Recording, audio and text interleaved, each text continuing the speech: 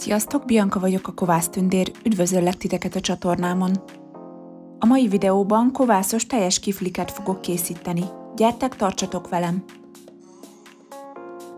Először kimérünk 2,5 deci langyos tejet. Majd hozzáadunk 25 g naturjókurtot vagy tejfölt, 23 g cukrot, 13 g sót, 50 g szobahőmérsékletű vajat, 150 g kovászt, és rászitálunk 500 g lisztet. Én a kedvenc lisztemet, a garatmalom királybúza százas lisztjét használtam, a hagyományos lisztekhez képest a királybúzából készült lisztek fehérje tartalma jóval magasabb, aminósabb összetétele jóval kedvezőbb. Nem reklám, minden hónapban tőlük rendelem a liszteket. Majd teljesen kidagasztjuk a tésztát.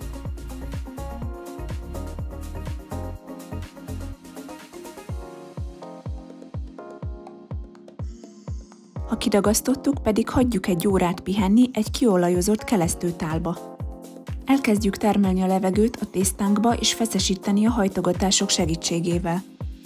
Először egy laminálást csinálunk, ablakosra húzzuk, mint a rétes tésztát, majd összehajtjuk, mint egy borítékot és feltekerjük. Utána pihentetjük 45 percet. Következőre sziromhajtással meghajtogatjuk a tésztát, mint a virág szirmainál, úgy megyünk körbe, a végén pedig átfordítjuk a tésztát. Majd ismét hagyjuk 45 percet pihenni. Ha letelt az idő, meghajtogatjuk utoljára a tésztát ismét sziromhajtogatással. Ezután pihentetjük melegbe még két órát, utána pedig betesszük a hűtőbe 10-12 órára kelni. 10-12 óra múlva kivesszük a hűtőből és hagyjuk a pulton körülbelül 2 órát temperálódni. Utána lisztezett felületen kinyújtjuk a tésztát kör alakúra. A hátralevő időben nézzétek el, hogy egy kicsit szerencsétlenkedek, az egyik kezemmel kamerázok, a másikkal pedig csinálom a dolgomat. Pizzavágóval félbevágjuk és mindig felezzük a szeleteket, így kapunk a végén 8 darab szeletet. Próbáljátok majd meg nagyjából egyformára vágni őket, nekem egy kézzel nem teljesen sikerült sajnos.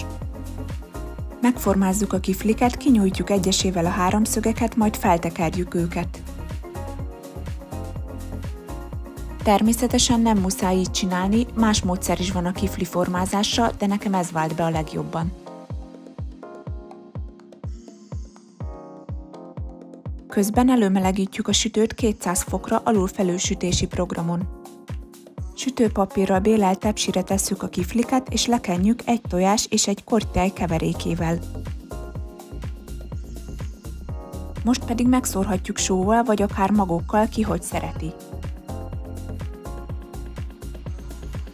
Ha a sütő elérte a 200 fokot, betesszük a kifliket, párásítunk és egyből csendesítjük 180 fokra, így sütjük körülbelül 20-30 percet. Megsültek a kiflik, kerek fél órát sültek, nagyon finom puha bélzetűek, próbáljátok ki ti is!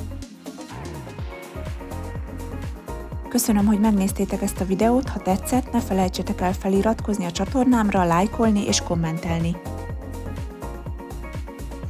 A kovász legyen veletek, jó sütögetést mindenkinek!